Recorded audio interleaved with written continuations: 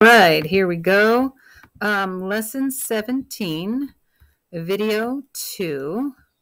And this was our liquid and measuring cups. This is the line plot that you have on your paper, right? And here's with the new redistribution with one half or four eighths in each cup.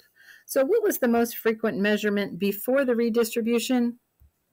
Most frequent means the one that has the most, right? Three. You can see that one fourth was the most frequent before the redistribution. After the redistribution, everything is a half. So that's the most frequent in the new measurement. Hmm, how did we go from one fourth to one half? What do you notice there? Well, first you might notice that we already have three that are one fourth, but then the rest of them are more than one half, right? So if we kind of make an average, we spread them out, we can see that they're all going to end up in one half. All right, yeah, let's try some more and think about it a little bit more. Um, here is a graph of butter in the bakery. What do you notice about this line plot?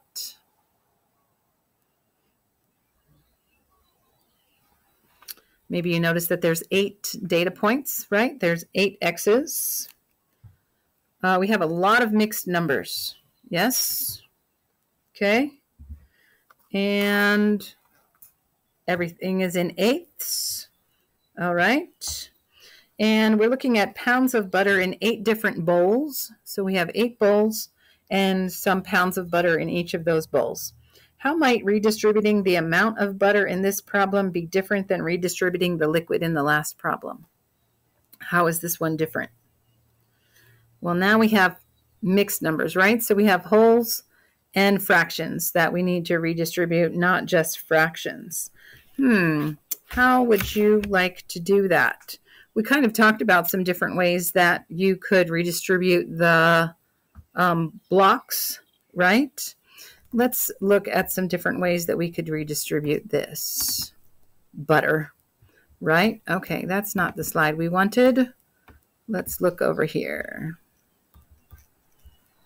Here we go. All right, there's a couple of different ways that we can redistribute our butter. Sorry, I'm just looking for, there we go. All right we could decompose. So we could take eight, because we want to keep eight, right?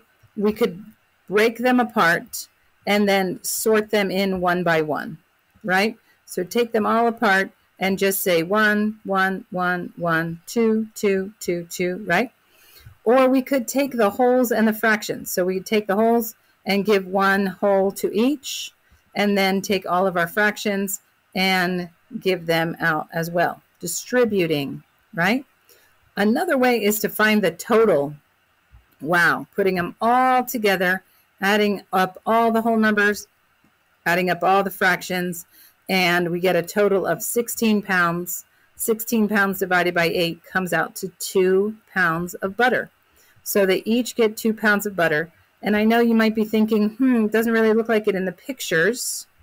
But what we can't see in the pictures is that this is eight, right? And this is one whole, and eight eighths makes one whole. And over here, we have 16 eighths. So 16 eighths makes two, all right? So we have three different ways to distribute decomposing, um, doing wholes and then fractions, or adding and then dividing. And of course, you can learn about all three of them, and maybe there's one in particular that you like the best, right? There could be different ones that speak to you more than others. Let's look at this is Santa's way, right? Where she took each piece. Then we also have the wholes and fractions. And then we also have adding it all up, and then dividing it by the number that we have for each. Okay? Um, let's look at our redistributed um, line graph, right? Now it's all two pounds because it's all redistributed. So the same amount is in each bowl. Um, originally we had two and one eighths. Let's see if I can pull that one up. Um, we had two and one eighths. There we go.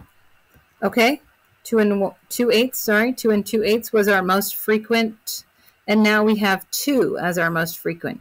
Can you see how we had some that was more than two, some that were less than two, and when we split them all so that we would have the same, they all became two. Yeah, that's kind of interesting. Redistributing the amount. All right. Okay, that's all that we have. And we only have two videos for lesson 17. So thank you for your hard work and I appreciate you. Aloha.